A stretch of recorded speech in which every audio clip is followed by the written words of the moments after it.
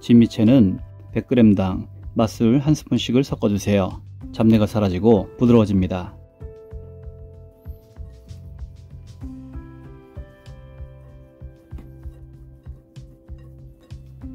양념 만드는 동안 빼두시고요.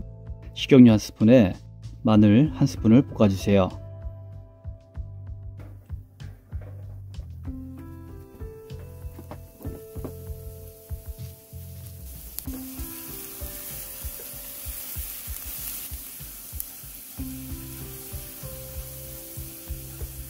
마늘이 반투명해지면 간장 한 스푼을 눌켜주세요.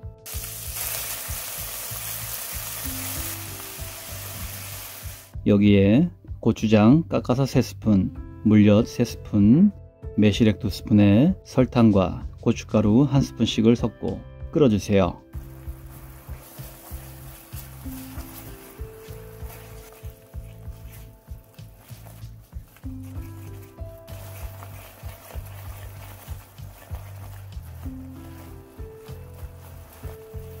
보글보글 하던 양념이 용암처럼 폭폭거리기 시작하면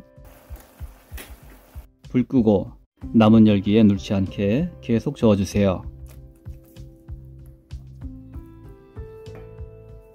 참기름 한 스푼을 섞고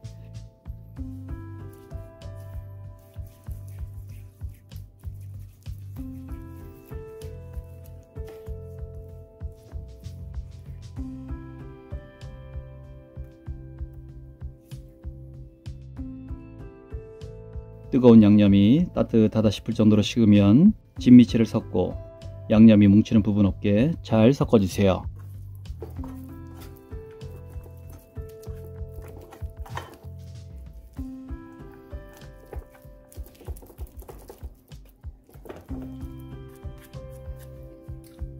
두고 드셔도 딱딱하지 않고 부드럽게 맛있습니다.